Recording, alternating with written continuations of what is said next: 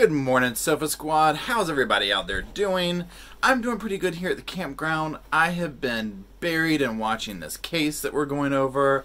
Uh, I watched a lot of it in real time yesterday, and then I had to watch some of it in replay last night, this morning, and I mean, my gosh, y'all, day two.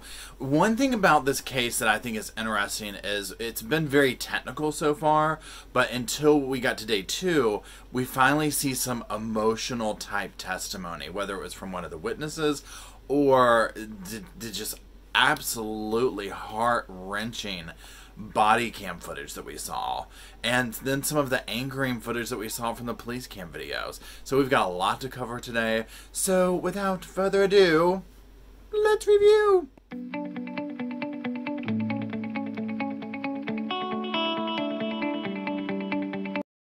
So the first person on the stand is Carla Riviera. Now this is no relation to uh, Amber Guyger's partner, uh, Martin Rivera, but she gets up there and she's basically just talking about you know, the timestamps, what time the call came in. Now, dispatch was sent out like a minute later, and the first people got there at like two minutes. Now, they play the 911 call. We've a lot of us have already heard this multiple times at this point. It's very uh, difficult to listen to uh, for numerous reasons. Obviously, the tragedy of it. Now, you know, very soon into the phone call, she's saying, you know, oh, I thought it was my apartment. You know, I shot the guy, and then very soon into there, we hear hear her say that she's effed. Uh, we hear her say she's going to lose her job. And I think for a lot of us, this is where we're just like, what? You know? I mean, it's just the uh, it flies all over me. I still just can't. Every time I hear it, y'all, my blood just runs hot. I mean, I'm not gonna lie. Now, there's a couple of times that she's like, "Hey, bud," and honestly, to me, it sounds like she's probably nudging him with her foot. I mean, it's just there's no signs, in my opinion, of her trying to help this guy, trying to do CPR, none of that. Now, I understand that everyone's freaked out in this moment, so on and so forth, but I feel like, you know what, she's held to a higher standard because of what she does. So while there is going to be some level of shock or whatever, just you know seen in this 911 call that like when squeezed a little bit her first concern is oh my gosh, my job, and doesn't seem to move away from that concern. So the next witness, so the next witness on the stand is Sergeant Stephen Williams. Now he's kind of like a technical person, and he's talking about how the cams work, you know, how we tell what time they were put on, what time they were taken off. During his testimony, a phone goes off. I was like, oh my god, everyone take cover. The judge was relatively calm, and they just all moved past that and they kept going. And basically, he's up there just talking about like the technicality aspect of these body cams and the fact that you know, yeah, their footage isn't that great. You know, these are the different pixels and what it means. And he's essentially up there to lay the groundwork for all the body cam footage that will be seen shortly. Now, the third person up there was Michael Lee. He's essentially the neighborhood police officer. Now, him and his partner Blair, they were like some of the first people on the scene. And he's saying, you know, they confirmed, like, would you use your radio for a situation like this in Amber's? And yes, I would. You know, it's a faster link than calling 911. It's like, you know, you're going straight to the source. Now, we see his body cam footage, and y'all, I mean, it gives me goosebumps right now. I mean, this is where this all becomes very real. And so, you know, we see, and this is, and this gave me so much anxiety, y'all when they're trying to get into the complex and obviously now that we know what we know it's like oh my gosh you know this guy's in there dying on his apartment floor alone and like and it's not their fault. I mean but this is what happens with these apartment complexes. So i hope one thing that can come from this is you know what happens in these scenarios when 911's called an emergency to these apartment complexes that are like locked down heavily? You know is there something that can be done to enable them to get in quicker? Now so we see him they finally make their way to the apartment. You know we hear amber talking you know i thought it was my apartment. And you know he immediately it's just bam. Like doesn't even think about it. They're on that floor. They're doing cpr they are trying to assist him. You know it has not gone unnoted that she has not been doing that. And one thing if you remember like before this trial started coming out where it was like you know, okay, well, there was some remnants of first aid stuff on the floor, but they weren't sure if she had done that because it was a little bit iffy. And I think even talked about it like it looks like she had gotten stuff from his apartment and done CPR. And no, she didn't do any of that.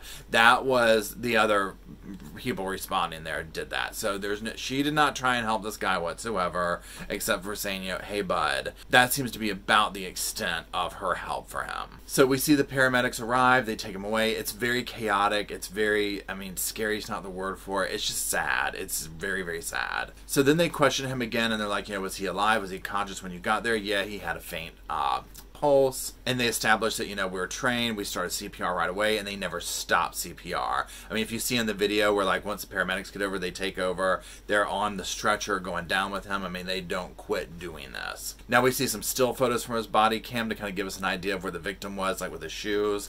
Uh, and then they go in to talk about lights and whatnot because this is like a big thing in this is you know because when you open the door you know she's like it was dark well there's light switches right there.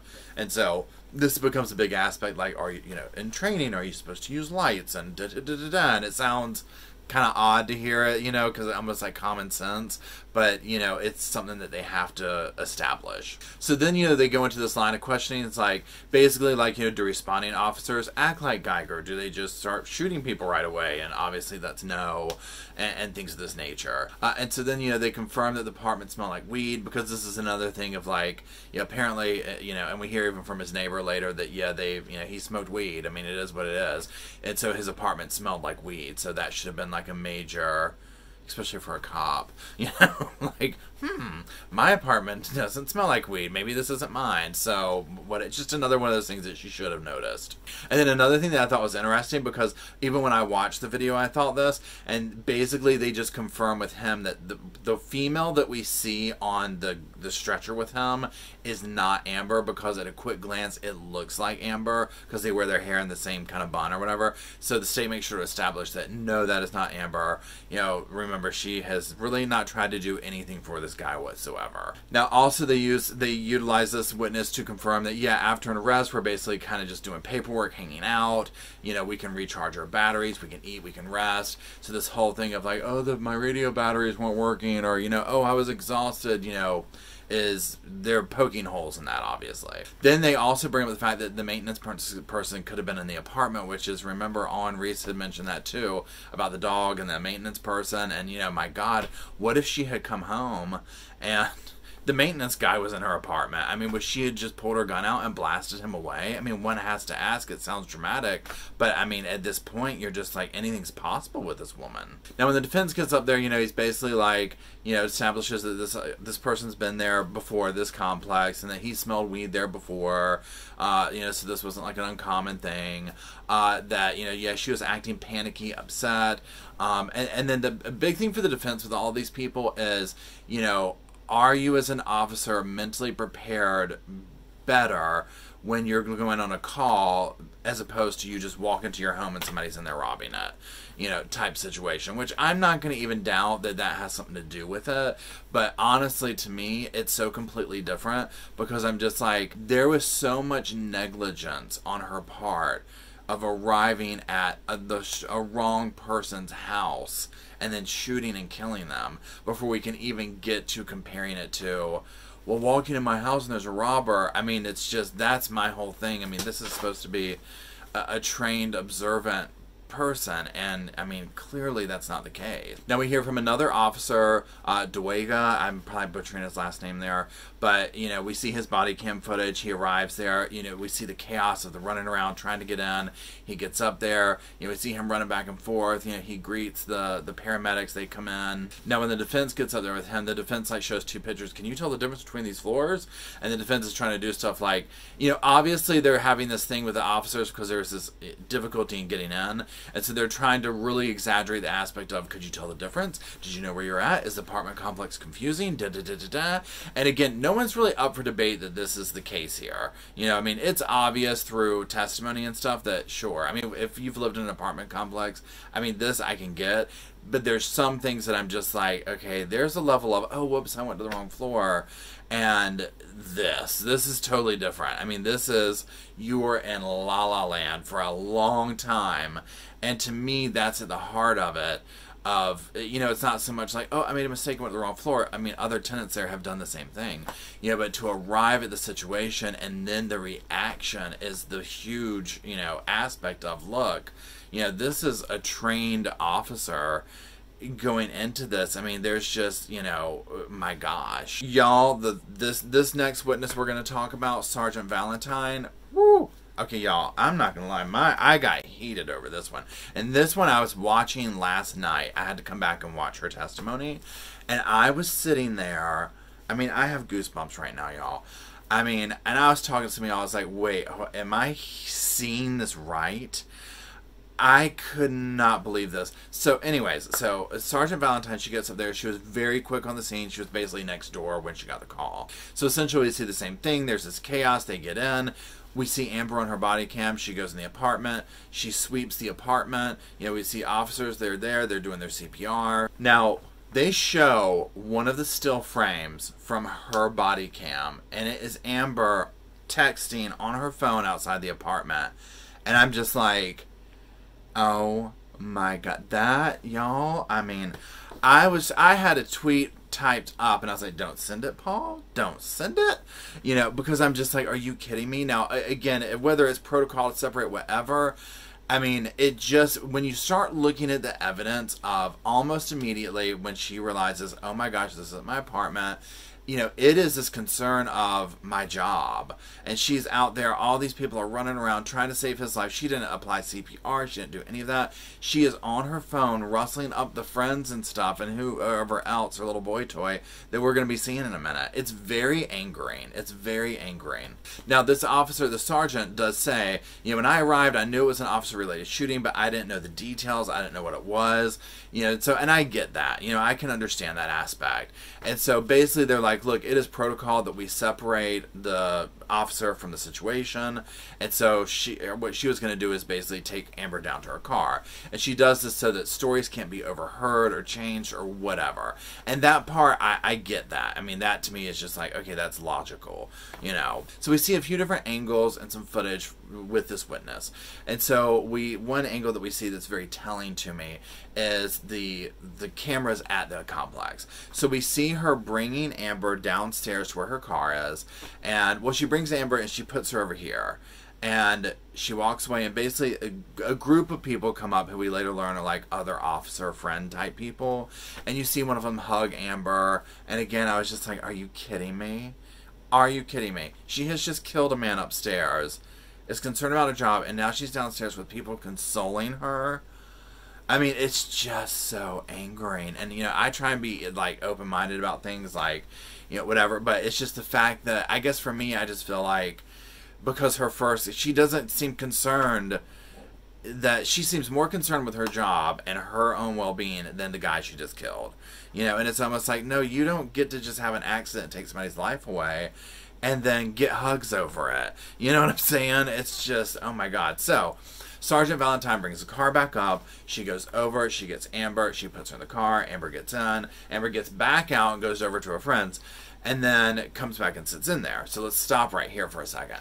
So this sergeant is saying that it is protocol to separate the officer and keep them basically alone. So we kind of see like, well, then why are all her friends hanging out and talking? Well, the state, and this becomes a big objection. They have to haul the jury out and go into one of their huge things because obviously the defense does not want this shown. And uh, we'll get a bit more into like what comes up. So the state is essentially saying, look, you know, this is not how everybody is treated. This is special treatment here.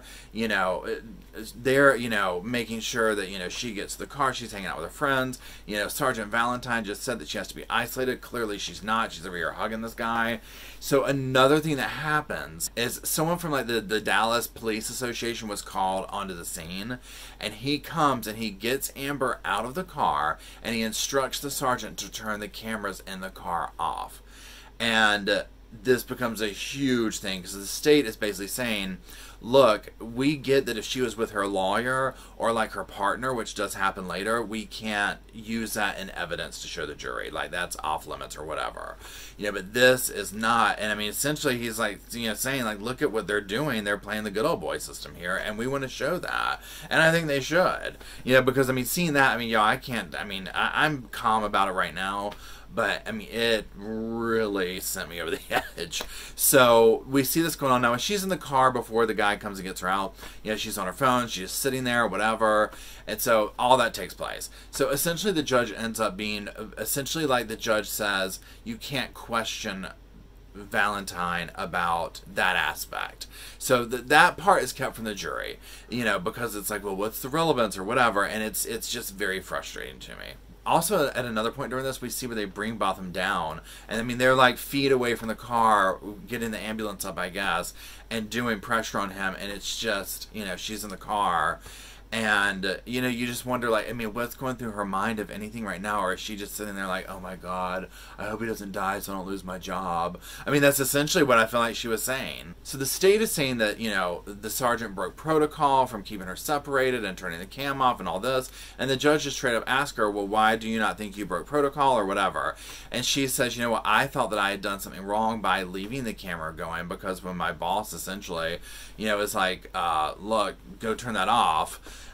you know, I thought I had done something wrong. So, and she goes into like this whole thing about, you know, well, you're allowed to talk with the supervisor privately and this, that, and the other. So, like I said, the judge rules that, look, you know, she can say all this stuff, but you can't question her about the president guy walking up to the car in that aspect. Now, we're going to go through a line of witnesses that kind of just went very quickly. So, uh, another officer gets up there. He was really hardly on the stand at all. He was the bike cop or something, and they talk about his cam footage. He's gone. Uh, then the talks another witness gets up there for the toxicology report. This is a very big point of you know interest, uh, and there was no alcohol or drugs in her system. And he took her uniform for analysis and things like that. Uh, then we have another police department detective person get up there, and he actually is showing video of them testing the fobs and so we can see how it works and it is it's like a little fob you stick in the door and if it doesn't work it basically is like beep beep beep and it's red and if it works you hear that mechanical and it's green and you can turn the key and open it. So that's kind of with him. That's the biggest thing. And again, some of the stuff like the defense got up there and talks about you know how overtime isn't an option. You know, well, what would you do if you walked into your house and there was a robber in there, and, and things of this nature. So then we hear from one of the fire rescue guys, and he's just you know confirming kind of what we saw in the video of you know I got there, Botham's on the floor. You know, we get him on the stretcher down the ambulance. You know, yes, officers were giving him CPR. We kept doing CPR. Uh, he, you know, basically had no pulse, wasn't breathing, and they do the GCS scale, which is kind of a, a rating system from bad to worse. Three is the worst, 15 is the best. He says that, yeah, Botham was a three. Next, we hear from the former regional manager of the complex complexes. And essentially she's getting up there to explain like the layouts of this. You know first of all she's like yeah we never had any issues with botham uh, they confirm the layouts of the apartment complex uh, they confirm like the floor plan layouts uh, they show us some like outside pictures of the complex they show us some inside pictures of the complex and they talk about the security cams they have. There's 15 of them, and they go into like showing where they're at and the vision, the the area that they cover, and things of this nature. You know how they work, where the footage goes, how long they keep the footage. Then they talk about the deadbolts in the door, the key fobs, how they're programmed in the office, and you know if it doesn't match, it doesn't open, so on and so forth. Now the defense gets up there, and the one point of interest that the defense brought up is that at some point in her testimony before, uh, like during the you know interviews and stuff, she had said that yeah the doors can be held open if you don't let it just close and you kind of you have to be very intentional but you can keep it from closing. So to me it sounds like i've seen doors like this. I mean i don't know what this door is like. I'm just going with things that i've seen before.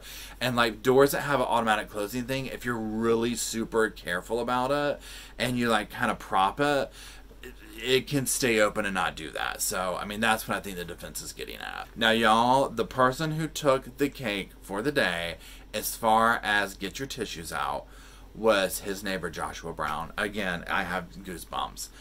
I mean, oh my gosh. If you watched it, I mean, I'm getting like that kind of like my face is going numb talking about it. So, you know, he's he was a neighbor. He talks about how earlier that day, um, the leasing people had come and like knocked on him and Botham's door, and he said that there was a noise complaint. And I wonder if this is where the rumors about uh, Amber having issues with noise with him came from. Uh, or if that was legitimate. I don't know. If you know anything about that, like proof of it type situation, drop it like it's hot in the comments. But he said that him and Botham, that's the first time they've ever met. And then they each were basically like, yeah, we're both smoking weed. And they both kind of thought that what they were really knocking on the door for was maybe because of that, maybe to confirm that. I don't know. So, you know, that was that. They go back in their apartments, yada, yada, yada. So then he shows later that evening where he came home and like where he gets off the elevator. And so once he gets off the elevator, he basically says, you know, he describes the sound of like two people being surprised by one another and then two shots going off. Now, he can't hear exactly what they're saying. And he says, you know, basically he was able to get into his apartment and go in there. Now, he says when he's on in his apartment, he basically goes in the balcony and looks through a window and he can see like Amber come out of Botham's apartment. You know, she's on the phone, she's crying. He hears the whole explaining, you know, what went wrong. Oh, I went to the wrong apartment. Da da da da da. And so then he goes and like looks out the peephole and he sees Amber pacing on the phone, and then she goes back in the apartment. And you know, they talk a little bit about you know him knowing Botham or whatever, and he's like he can hear Botham in the morning singing like gospel music and Drake and whatnot. And he starts crying, and it's so touching. It makes me want to cry right now. I mean, because it was just so. It, it's the human touch in this that we've kind of looked to Amber for that we haven't seen. And, you know, obviously his family's emotional, but finally to kind of see a, a, someone not related to him, but in the situation, do almost like what's appropriate and cry over it because it is, it's so sad. And just that little human touch of knowing that, like, you know, here's this guy, he's getting up in the morning, he's singing. I mean, it just it, it ripped my heart out. So they take a break over this. They let him gather himself. They come back, and so they talk more about these voices. And he's essentially like, "Look, these voices were mixed up. I couldn't make out what they were saying." And they go in a line of questioning, which is like, "Did you hear? Put your hands up. No. Did you hear? Show me your hands. No. Any other commands that a police might say? No." And he comes down. He puts a sticker where his apartment is, and basically lives across the hall from uh, from Botham. And the defense gets up there and makes sure to establish that he did not hear what they actually said. You know, talking about the leasing people come by, talking about, you know, he didn't really know the exact times because I guess he didn't have a watch on or things like this. And he said, you know, he was still affected by the stress of all this, obviously. So they established that he too has gone to the wrong floor, and he said that he's actually done it several times. And then he says that he's even gone and like all the way and put a, his key in the wrong door once and then realized it was the wrong floor. And then he said that one time, because they're like, well, how did you realize this? And he's like, well, I saw the decorations and so forth that they've been talking about with a neighbor. Now, the next witness is a chemistry teacher in high school and a football coach and uh, he gets up there. He's a former neighbor. He lived in 1425. So they show timestamp pictures that basically like show, you know, it shows truck pulling in, and they establish, you know, when he parks, and he sees officer when he gets out of his truck. I'm assuming this is amber. And so you know she had like a bag with her or whatever. And he says that he goes to his apartment and uh, his apartment and basically starts to make food or something and hears two shots. And he said that he kept hearing a female voice that was saying there was someone in my apartment. There was someone in my apartment. And he never he too never heard anything like about you know put your hands up or you know show me your hands or anything that the police might say the defense gets up there and a lot of this stuff y'all the defense just kind of re asks the same questions it gets a little boring and you know they try and do a theme almost all of these things of you know you know, did you know, were you, have you ever been confused with the complex and things of this nature? And it, it becomes a little bit redundant. The next witness, we are just going to call him the software engineer. I I can't pronounce his name barely could get his name spelled out, so I don't want to uh, offend him or anything trying to even say that name.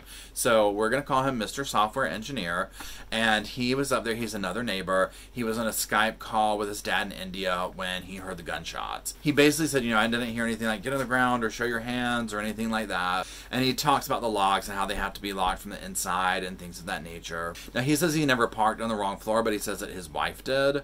And they go into more question about that, but it's just almost one of those like, no, it's just you know, she made a mistake and parked on the wrong floor. Now, he said the way he always told what floor he was on is because he looked at the numbers on the elevator. Now, the last witness for the day was uh, Mr. Armstrong of the Texas Ranger. He went to the Southside Flats on September 8th, and he talks about the locking system and the handles, and he's basically describing it. You know, and he says that, you know, there's no actual handle. He call it like a passive handle. There's no lock on it. Uh, he talks about the deadbolt above that that accepts the key from the outside, and then above that is basically an interior deadbolt. Now, they talk about the time timestamps and things of that nature from the door lock showing when it was locked, and it shows that the last locking event was at 8:34 p.m. and uh, this is my thing with that. So I'm like, okay, well, wait a minute. Are they saying that the door locked, or are they saying that uh, his testimony got cut off? So we're gonna see the rest of it today. But it kind of left this thought process of, well, wait, are they saying the door is locked now? So, but I think what we're gonna find out is that they're saying, well, the last time it locked is 8:34, which there was an hour savings time or whatever. So that's a little bit different. But um it's going to show that I think his door just didn't click, is what happened. So, but we're going to see because if they say no, it's fully locked, that's going to add a whole new layer. So, you know, he did this and he gives his testimony about, you know, what the thing sounds like and how it works. Now, we also see like some timestamp pictures of her truck pulling in, and he talks about that where basically the gate didn't close because the last person that went in it didn't you know open for them and then people walked in and out so it kept it from closing so that's why there's no timestamp from her fob showing her entering. For obvious reasons, they need to establish this so that you know, yes, it was her that did this, and that she wasn't not there. So a little a little bit of a technicality, but necessary. Now they show this is another emotional video. They show a video of him going to the apartment and doing this, and he gets there and there's flowers on the outside. I mean, it's just, oh my God, y'all. And he basically is just going in and looking around. There's still blood on the floor. There's the first aid stuff that we talked about earlier. So, see, now we know it's like, yeah, Amber didn't do that. That was the other people. So, again, no help from her. Now, there's other things. They do a whole bunch of what's in the apartment. And one thing that got to me, y'all, was his diploma was stacked up, like kind of propped up there, you know. And I was like, oh my gosh, this guy had so much going for him and uh, you know now they talked about they made sure to talk about like the 50 inch tv and i think that's going to be uh, we're gonna see more about that today. And you know with the lighting source and things of this nature because remember she's saying i opened the door and all i saw was a silhouette of a guy or you know a figure coming at me or whatever. So at that point it's like well i mean a 50 inch a 50 inch TV is a decent sized TV. And I mean, you know what it's like in a, a, room with the TV being on like that. I mean, it's a source of light. So there's this level of, well, even that you didn't see like you know how do you and there's lights right here i mean all you have to do is flip these lights and of course it's this whole thing uh, the testimony at some point was like well you know do you want somebody holding a gun and you know trying to operate a light and da da da da da da from the defense and you know, it's just it just goes on and on. So this video has become very long. I apologize. I know it doesn't help when I'm like, hi, I condensed eight hours of testimony down to seven hours and 45 minutes. You're welcome. But like I said, the testimony is getting very emotional now. It's moving from being just this kind of technical sounding thing to you know, actual, you know, oh my gosh, like this is, you know, they're showing us some stuff that I'm surprised they're letting us see. So that's it. Thank you for hanging out with me. Uh, don't forget, you know, check out my website if you want to see more stuff on different cases. Uh, if you want to see uh, the podcast that we do Awen Rees from Toxic Bliss and I, we do a video version of it and we also have an audio version of it. So join in for those. My heart goes out to Botham Jean and his family. And I will see you all, Sofa Squad, tomorrow.